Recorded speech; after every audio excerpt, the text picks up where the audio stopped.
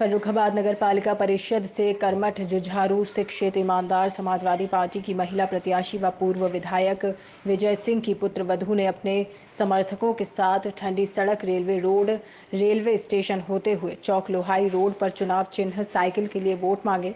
वोटरों ने जगह जगह समाजवादी पार्टी प्रत्याशी एकता सिंह का फूल मालाओं से जोरदार स्वागत करते हुए समर्थन किया।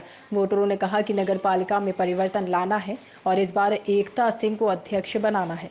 इसी के साथ एकता सिंह जिंदाबाद समाजवादी पार्टी जिंदाबाद के नारे समर्थकों ने लगाए। वहीं चौक पर पगड़ी पहनाकर एकता सिंह का जोरदार स्वागत किया गया।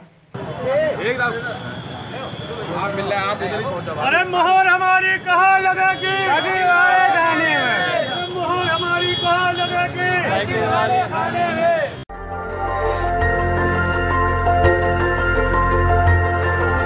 देखते रहिए डीबी भारती समाचार नज़र हर खबर पर।